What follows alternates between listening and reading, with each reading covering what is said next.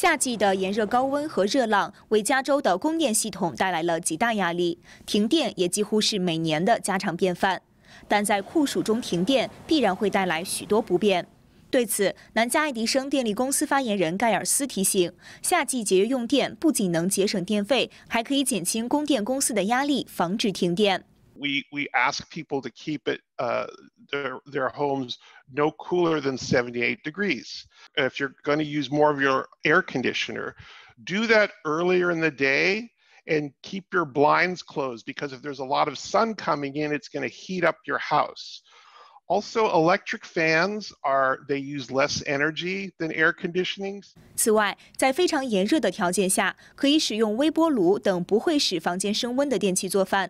他还建议把洗衣机设定为冷水模式。